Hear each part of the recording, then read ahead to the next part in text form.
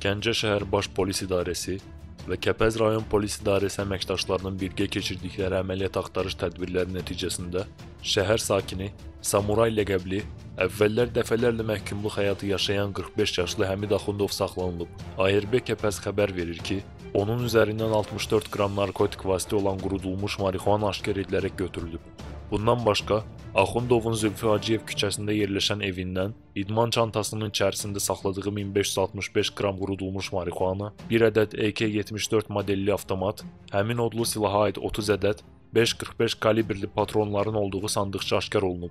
Həmid Axundovun barəsində qanunsuz olaraq narkotik vasitə və odlu silah saxlanması faktları üzrə Gəncə şəhər Baş Polis İdarəsinin İstintaq və Təhqiqat İdarəsində Azərbaycan Respublikası Cinayət Məcəlləsinin 234 və 228-ci maddələri ilə cinayət işi başlanıb. Kəpəz rayon məhkəməsinin qərarı əsasında barəsində həbs qəti imkan tədbiri seçilib.